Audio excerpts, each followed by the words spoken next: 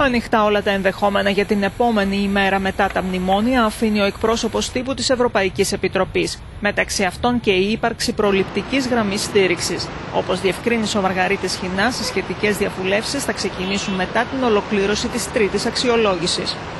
Θα είναι μια συζήτηση που είναι μπροστά μας. Δεν θα ήθελα σε καμιά περίπτωση να προκαταβάλω ε, ε, το περιεχόμενο αυτών των ε, συζητήσεων. Υπάρχουν όμως ορισμένες σταθερές για το μεταμνημονιακό ορίζοντα. Η πρώτη σταθερή είναι ότι η Ελλάδα πρέπει να πατήσει και θέλει όλος ο κόσμος να πατήσει γερά στα πόδια της. Η ολοκλήρωση της τρίτης αξιολόγησης αναμένεται στο Eurogroup της Δευτέρας. Σύμφωνα με τις πληροφορίες, η σχετική εισήγηση του Euro Working Group που πραγματοποιήθηκε την Παρασκευή είναι θετική.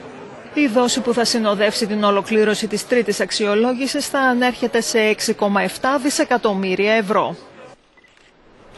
Εν τω μεταξύ, η επικεφαλής του Διεθνούς Νομισματικού Ταμείου, απαντώντας σε σχετική ερώτηση, παραδέχτηκε ότι η προτεραιότητα των θεσμών στην έναρξη της κρίσης ήταν η προστασία του τραπεζικού τομέα. Πήρε χρόνο μέχρι να μάθουμε ποια ήταν η πραγματική κατάσταση της Ελλάδας και πόσο αυξανόταν μήνα με το μήνα το χρέος. Αλλά μπορώ να σας πω ποια ήταν η πρώτη στη εγνιά μας. Οπωσδήποτε ήταν η ενίσχυση του τραπεζικού τομέα.